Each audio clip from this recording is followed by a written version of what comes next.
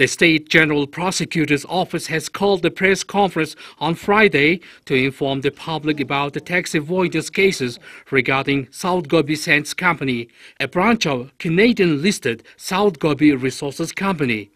The case was opened by the Corruption Combating Agency in 2012 regarding the group of officials led by Batoyag, then head of the Authority for Mineral Resources. During the investigation, the criminal case involving U.S. citizen Justin Kapla, former president of the South Gobi Sands, was separated. He has been under investigation for tax evasion with a value of over 17 billion tugriks, payable for 90 billion tugriks income of the company.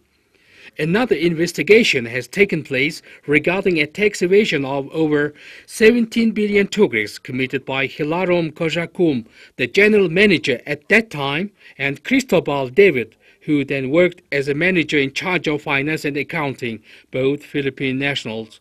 The cases have been passed to the primary court.